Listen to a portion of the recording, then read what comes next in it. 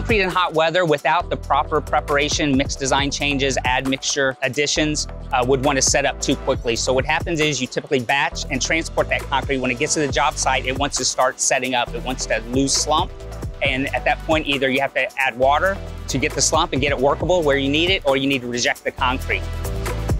The addition of water on site is detrimental to the quality of the concrete. It's one of the biggest battles we have in the concrete industry.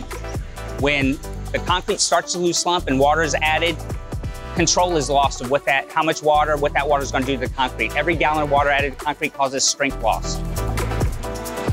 So a couple ways admixture helps reduce the water additions on site.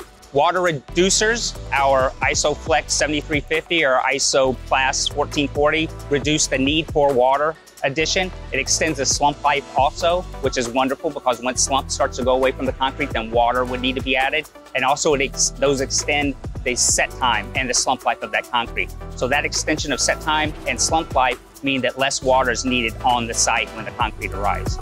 Concrete dosed properly with admixtures will be batch transported and have time to be placed correctly, properly for the concrete finisher.